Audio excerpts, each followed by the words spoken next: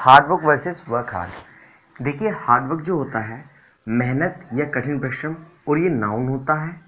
और अगर मैं वर्क हार्ड की बात करूँ तो वर्क हार्ड होता है मेहनत करना, और ये वर्क कहलाई जाती है।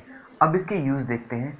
अगर आपको किसी को बोलना है कि आपको कठिन परिश्रम करना चाहिए, आपको कड़ी मेहनत करनी चाहिए तो आप बोल सकते हैं यू शुड अगर हार्ड वर्क लिखेंगे तो आपको डू लगाना पड़ेगा you should do hard work क्योंकि डू यहाँ पर करना होता है तो आ जाएगा आपको मेहनत करनी चाहिए। और अगर आप वर्क हार्ड यूज़ करना चाहते हैं you should work hard work hard अपने आप में वर्ब होती है, जिसका मतलब होता है